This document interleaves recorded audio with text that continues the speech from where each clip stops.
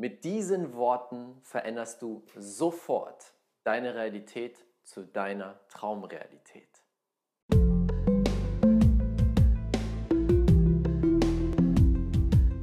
Herzlich willkommen zu einem neuen Video hier auf meinem Kanal. Mein Name ist Raphael Bettencourt und ich zeige dir, wie du durch die Gesetze des Universums deine Traumrealität und dein Traumbusiness erschaffst. Heute geht es darum, wie du die Kraft von dem, was gerade aus meinem Mund kommt, was aus deinem Mund kommt, also der Worte, nutzt, um deine Traumrealität zu erschaffen. Eine Sache, die wir den ganzen Tag benutzen, die so einfach ist, hat einen so riesen Effekt auf unser Leben. Und das möchte ich dir heute zeigen, wie du eine kleine, einen kleinen Switch, eine kleine Veränderung machst und sofort deine Realität sich mit verändert. Bei mir war es damals so, wenn du mein altes Ich kennengelernt hättest. Meine Art zu sprechen war eine ganz, ganz andere. Ich habe andere Worte benutzt, ich habe viel mehr genuschelt, ich habe viel mehr in mich hineingesprochen und allein die Art der Worte war komplett anders. Somit war mein Leben auch komplett anders.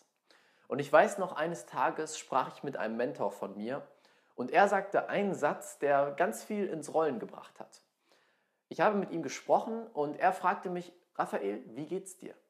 Und ich sage, gut. Und er guckt mich an und sagt, gut ist kein Wort. Gut hat keinen Inhalt. Wie geht es dir? Und ich war verwirrt und wusste nicht, was er meint. Ich sage, wie, was meinst du? Mir geht's gut. Und dann sagt er, okay, schau mal. Was ist der Unterschied zwischen, du sagst, mir geht es gut oder mir geht es blendend, fantastisch, grandios. Ich bin heute erfüllt. Ich bin glücklich. Vielleicht spürst auch du jetzt diesen riesen Unterschied. Gut hat keine richtige Energie dahinter. Gut ist einfach gut. Hm? Fantastisch, großartig, grandios ist etwas ganz, ganz anderes. Es hat eine komplett andere Energie und es löst eine komplett andere Energie in mir und in den anderen Menschen aus. Und das ist mir bewusst geworden in dem Moment. Und dann habe ich begonnen, mal durch meinen Wortschatz zu gehen, durch die Dinge, die ich so sage in meinem Leben. Und mir ist aufgefallen, dass meine Realität fest daran geknüpft ist, welche Worte ich benutze. Und ich habe Schritt für Schritt begonnen, die Worte zu verändern. Und Schritt für Schritt hat sich meine Realität verändert. Dass ich heute in meiner Traumrealität lebe. Wir sind in Portugal, wir sind am Strand, wir haben einen Pool vor der Tür, wir haben das tollste Leben. Natürlich sind es nicht nur die Worte, aber sie hatten einen großen Einfluss darauf. Und ich möchte dir jetzt zeigen, wie du das machen kannst, wie du deine Worte verändern kannst, wie du da am besten vorgehst, um deine Traumrealität zu erschaffen. Bevor dieses Video weitergeht, ganz kurz, wir haben gerade wieder unser Gewinnspiel laufen. Und zwar für jeden, der unter diesem Video mit Hashtag Fülle kommentiert, der oder die kommt automatisch in den Lostopf für unsere Fülle-Magnet-Meditation im Wert von 50 Euro. Eine der Medis, die mehr Möglichkeiten, Geld, Manifestation, Umsatz kreiert hat, als viele, viele andere Dinge, die wir bisher gemacht haben. Wir haben unglaublich tolle Erfahrungserlebnisse, Erfolgserlebnisse damit feiern dürfen. Einmal die Woche gibt es einen glücklichen Gewinner oder Gewinnerin. Du musst einfach nur kommentieren, Hashtag Fülle und du bist automatisch mit dabei. Punkt Nummer eins ist erstmal sehr, sehr wichtig, zu verstehen, warum sind diese Worte so relevant? Warum erzeugen sie deine Realität? Versuche mal, deine Worte zu beobachten. Das hier soll ein Zeichen sein, das für deine Muster steht. Du hast dein Bewusstsein und dein Unterbewusstsein, das weißt du inzwischen, wenn du meine Videos schaust. Und im Unterbewusstsein sind 95% all deiner Gewohnheiten, Muster, Gedanken, Gefühle drin gespeichert. 95%. Und es ist unbewusst wie Unterbewusstsein. Es ist versteckt, es passiert einfach, ohne dass du wirklich da drauf guckst. So wie du jeden Tag atmest, sind diese Muster aktiv. Du denkst nicht über das Atmen nach, es passiert trotzdem. Und wenn du mal auf deine Worte achtest, dann kannst du deine unterbewussten Muster herausfinden. Das heißt, im ersten Schritt geht es um Beobachtung. Zu beobachten, welche Worte du regelmäßig nutzt. Ich habe vor kurzem genau das gemacht mit jemandem, den ich in gewisser Weise gecoacht habe, wo wir mal geschaut haben, welche Worte er immer und immer wieder nutzt, ohne es zu merken. Und dann kam zum Beispiel sehr häufig, hey, das und das ist schwer. ja, das war ziemlich schwer. Das ist schwer. Das ist auch schwer und das war sehr schwer. Und ich habe ihn sofort darauf hingewiesen und wir sind darauf gekommen, dass er ein Muster hat in seinem Unterbewusstsein, das sagt, hey, das Leben ist hart. Viele Dinge im Leben sind hart. Und durch die Worte, die rauskamen, wurde quasi das bestätigt und immer wieder in seinem Bewusstsein gefestigt. Jedes Mal, wenn er das ausspricht, festigt er es. Denn es gibt drei Stufen der Manifestation. Ganz wichtiger Punkt. Stufe Nummer eins ist der Gedanke. Das heißt, du denkst etwas, damit manifestierst du auf einer bestimmten Ebene. Stufe Nummer zwei ist das Wort. Das heißt, von den Gedanken zu den Worten gehen wir eine Stufe tiefer, denn es manifestiert sich einmal mehr in der Realität. Ein Gedanke passiert nur in deinem Kopf. Ein Wort geht jetzt sogar raus. Andere Leute können es hören, andere Leute können es wahrnehmen. Und die dritte Stufe ist Schrift, Schreiben. Dann ist es wirklich festgeschrieben. Ein Wort vergeht nach einer Sekunde, aber Schrift bleibt. Das ist der Unterschied. Das heißt, wir sind bei der zweiten Stufe der Manifestation. Und wenn ich Worte immer und immer wieder nutze, was passiert dann? Dann manifestiere ich diese Sache in mein Leben. Wenn ich immer wieder sage, das ist schwer, das ist kompliziert, das ist hart, dann kreiere ich harte, schwere und komplizierte Situationen in meinem Leben. Das heißt, das ist Schritt Nummer eins. Beginne zu beobachten. Beobachte die Worte, die du jeden Tag nutzt. Ebenfalls Dinge wie Füllwörter. Auch Füllwörter nehmen dir die Power aus deiner Energie raus. Wenn du im Flow bist und erzählen möchtest und dann kommt erstmal, ähm, ja, hm, ah, hm, dann nimmst du die Energie aus dem Satz und auch da mal zu beobachten. Das ist der erste Schritt, zu beobachten und rauszufinden, was sind die Worte, die dir nicht mehr dienen, die du nicht mehr in deinem Bewusstsein haben möchtest.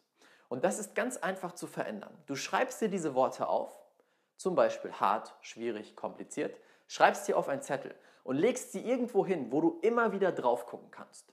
Und dann wirst du merken, wie bei den nächsten Malen, wo du sprichst und diese Worte benutzt, wie du das bemerkst, es nicht mehr unterbewusst oder unbewusst ist, sondern es bewusst wird. Und das ist der Moment, wo du es ändern kannst. Genau das ist das, was ich mit der Person gemacht habe, die ich gecoacht habe. Wir haben das aufgeschrieben, klar gemacht und in kürzester Zeit ist der Person bewusst geworden, wann sie die Sätze sagt und konnte sie korrigieren oder ersetzen. Und das ist der nächste Schritt.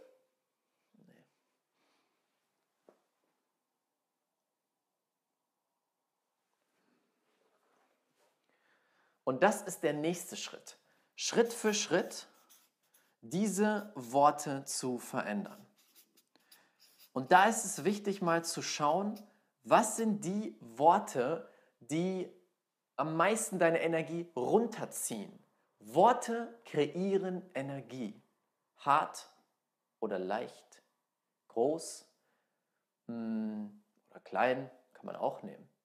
Gut oder fantastisch, großartig, grandios phänomenal. Spürst du die Energie dahinter? Mir geht es heute phänomenal. Pum! Was für eine Energie steckt dahinter? Und was macht das mit deinem Gefühl? Sag es jetzt mal laut. Guck dir gerade dieses Video an und sag einfach mal laut, mir geht es heute phänomenal. Mir geht es heute fantastisch. Fühl mal rein in deinen Körper, was das macht. Deine Zellen sind wie große Ohren, die dir den ganzen Tag zuhören, deinen Gedanken und deinen Worten. Und darauf reagieren sie. Und wenn du beginnst, die Worte zu verändern, macht es einen riesigen Unterschied. Ein ganz einfaches Beispiel ist, anstatt zu sagen, das war hart oder diese Aufgabe ist hart oder schwierig, sag einfach, diese Aufgabe ist nicht so leicht. Dann liegt der Fokus auf leicht. Trotzdem sagst du, was du sagen willst, dass du vielleicht Komplikationen hast mit deiner Aufgabe, aber du nimmst das Wort leicht. Damit programmierst du dein Bewusstsein auf leicht um, auf Leichtigkeit und es wird leichter, die Aufgabe wahr werden zu lassen, umzusetzen. Verstehst du? Das ist der Punkt. Deswegen beginne Schritt für Schritt die Veränderung. Beobachte deine Worte und Schritt für Schritt schaust du, welche Worte sind dort und welche Worte will ich verändern. Und dann ersetzt du diese Worte mit Powerworten. Powerworte sind einfach nur Worte, die dir Energie geben. Und das kannst du dir aussuchen. Das kann für jeden etwas anderes sein. Für mich sind es eben Worte wie galaktisch, phänomenal, fantastisch, grandios. Das ist ein Running Gag bei uns im Team. Wenn jemand fragt, hey, wie geht's dir? Dann kommt erstmal eine Liste an solchen Worten. Ne? Ich frage ähm, die Mariam aus meinem Team, hey, wie geht's dir? Mir geht's galaktisch, phänomenal, grandios, fantastisch, genial. das ist so ein Running Gag bei uns. Aber du merkst dadurch, wie die Energie sich verändert. Und das kannst du auch machen. Beobachte in deinen, deinem Leben, wo benutzt du Worte, die dir nicht mehr dienen, die dir Energie ziehen. Beginne Schritt für Schritt diese Worte anzupassen gegen Power-Worte. Und ich überlege mal, was kann ich dir noch für Worte mitgeben? Also genial, fantastisch, grandios, gigantisch. Gigantisch ist auch ein ganz tolles Wort. Phänomenal, mühelos ist ein sehr schönes Wort für ich habe mühelos diese Sache kreiert. Leicht, mm, entspannt, erfüllt, glücklich, voller Fülle, voller Leichtigkeit, voller Liebe. Liebevoll. Mm, zum Beispiel, wenn ich E-Mails schreibe, dann schreibe ich unten drunter immer alles Liebe.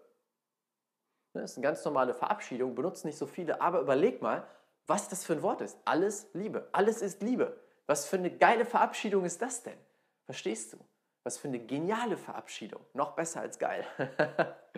Verstehst du? Das sind die drei Punkte. Und wenn du das anwendest, wirst du ganz schnell merken, wie deine Realität sich verändert. Wie ich gerade sagte, nicht nur deine Zellen hören auf deine Worte, sondern auch das Universum.